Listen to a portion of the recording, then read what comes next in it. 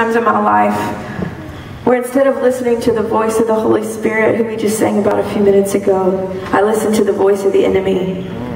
And something that I've learned recently is that the voice of the enemy is always accusing. He's always saying that just overall I'm not good enough and I'm not smart enough and I don't love Jesus enough and that I will never be enough. And if I live out of that place, there's only so much that I can do for the kingdom of God because I'm focused on me. But I've learned that the voice of the Holy Spirit is always patient, and it's always kind, and it's always good, and it's always truth. And so, no matter what I've done, or where I've been, or where I've come from, or the lies that I've believed in the past, there is a God in heaven who loves me and He has a plan for my life, and He's relentless, relentlessly pursuing me. Amen? Amen.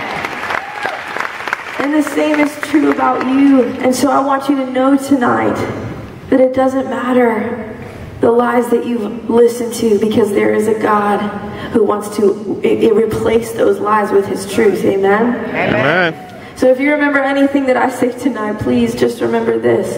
He knows your name.